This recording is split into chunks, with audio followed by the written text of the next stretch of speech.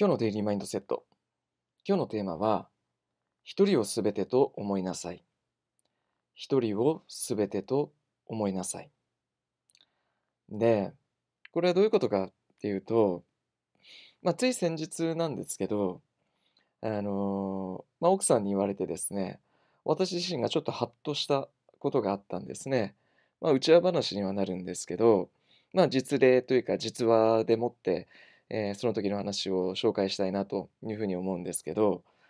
あのまあ、奥さんとご飯食べてる時にですね、話をして、まあ、これがまた私の姉夫婦の話にはなるんですけど、昔話をちょこっとしたことがあったんですね。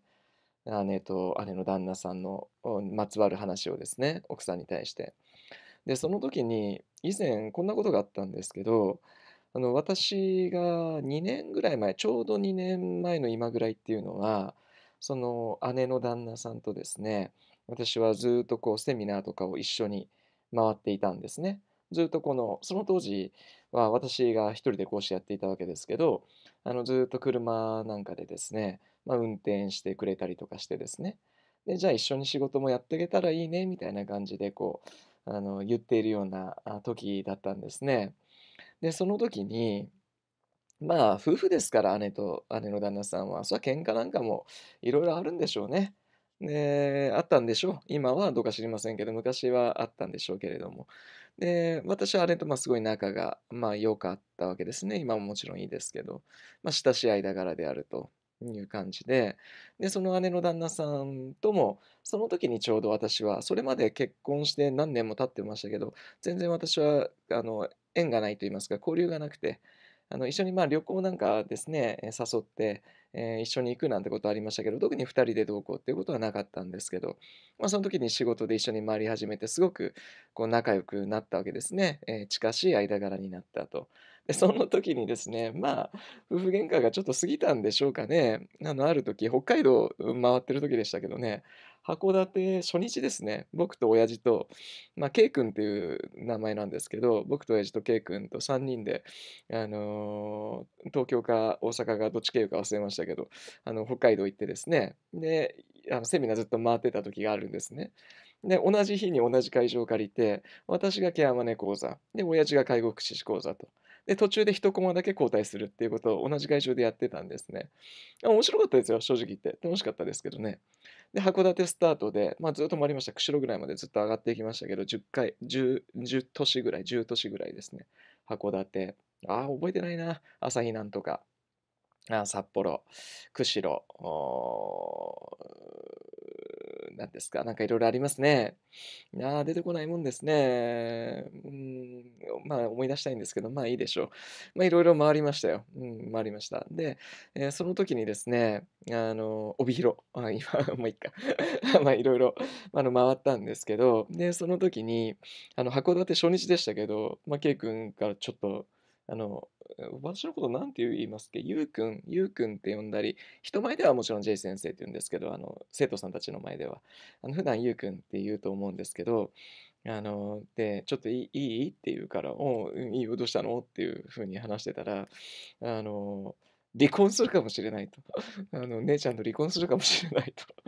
え、本当？マジで？みたいな。で、この仕事一緒に、あの、もしね、もし万が一これから離婚するとしても、あの、一緒に仕事はしていけるかなみたいな、一緒に仕事していってもいいの？みたいな感じで言うから、そんなの当たり前でしょ？と、当然じゃんと、うん、いうことを言ったんですよね。で、本当にそう思うんですよ。だって、ケイ君と今一緒にね、やってて、それは、それはそれでしょ？私は兄弟ですけど、姉とは。姉とは、姉は姉。ケイ君はケイ君ですよね。全く別ですから。っていうふうに私は思っているんですよね。で、それをほら、じゃあ姉は姉で血のつながりでずっと兄弟だから離婚したんだったらさよならだよとかっていうのは、私は全く思わないんですよね。今でも思わないですし、あの、その時も思っていなかったわけですけど、だけどその話をしたらいきなりこう遮るような形で奥さんに「そこがすごいですよね」ということを言われたわけですよね。で、まさかそんな返事が返ってくるとは思わなかったわけで「え、なんで？」っていう普通はそれができないって言われたんですよ。で、何をもって普通とするか分かりませんけど、私はそう思う、これが普通なんですよね。で、逆にその何て言うんでしょうね、変えることの方がよくわかんないっていう感じなんですけど、でもそう言われるってことは、あ確かにそうなのかなっていうこともちょっと思いもしなくもないとこなんですけど、これ友達関係なんかでも言えると思うんですよ。よく友達っていうのは派閥みたいな、政治家でいう派閥みたいな、グループみたいなのありますよね。で、その時に大体どっちかのグループに所属していて、もう片方とは仲良くないみたいな感じあるじゃないですか。私、あれが実は昔からないんですよ。高校も中学も。もちろん、あの、グループありましたよ。うん、で、まあ、自分を中心とするグループになっちゃうんですけど、どうしても片方あるんですけど、そうじゃないグループってあるじゃないですか。まあ、正直言ってですね、正直なこと言うと、なんて言うんでしょう。まあ、いけてないグループっていうのがあるんですね。ちょっと言葉が適切じゃなくて、あの申し訳ないかもしれないんですけど、ある。でもそういう人たちのことをイケてるグループに所属している人たちってバカにしたりとか、差別したりするんですよ。私あれが嫌いですごい嫌で、全然そのイケてないって言われてるような人たちのグループの人たちも全く変わらずに接してたんですよね。でも、それがあることによって、あの、均衡が保たれてましたよ。あの、そのイケてる側のグループって私が中心になりますから、もし私がそこで私までその差別感、区別感、まあいじめ感みたいな感じでしょうか。バカにする感なんか持ってたら、もっと増長というか助長したでしょうね。その、はっきりと二極化をですね。でも私がそうしなかったことによって、他の人たちもあんまりそうしないっていう感じありましたね。で、まあやってる人いましたけど、それでも何て言うんでしょう。あまりにも直接がそれが過ぎるなって思う時は、まあ、正直言って仲間でも注意しましたし、それはダメでしょっていうことはやっぱり言いましたし、うん、まあ何よりやっぱりそういう別のグループの人たちも仲良くすることによって私が、あの、私の仲いい人たちがそれをしないっていうことはありましたね。まあその同士が喧嘩なんてことも正直ありましたけど、そこはなんかもう止めましたね。いや、あの、2人に仲良くしなよみたいな先生的な位置づけじゃなくて、いや、それはこっちがこれの誤解だよとか、この人間はこう言ってるよとか、で、逆にこっちはこうだよっていう感じで、その間を取り持つなんてことはもうしょっちゅうありましたね。えー、中高、小中高とありましたけれども、まあそんな感じですよね。まあ小学校の時は多少私もやっぱ嫌なやつなとこもあったんで、あのいけないことをしたこともあったかもしれませんけど、まあ中高、また大人になるについてそれはなくなったっていうのはあるんですけど、で、私からするとですね、こっちと仲いいからって言ってですよ、こっちを敵対することの方が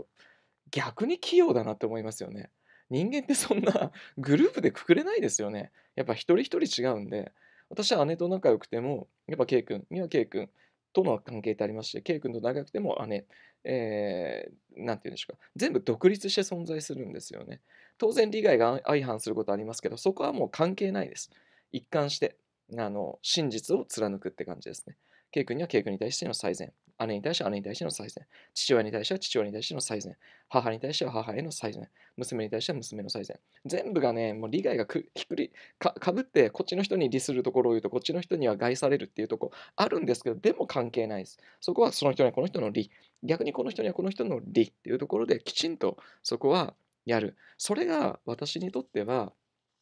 簡単でもあり、誠実であることとも思うんですね。ですので、まあ、こっちに利するとこっちに害なんてことはあるんですけど、もうしょうがないです。それはしょうがないです。あるんだからしょうがないですね。それがあるがままの形であれば。っていうようなところはあるわけですね。まあ、ですので、うん、浅い感じだと不誠実に思われるかもしれません。私の味方じゃなかったのみたいな感じですよね。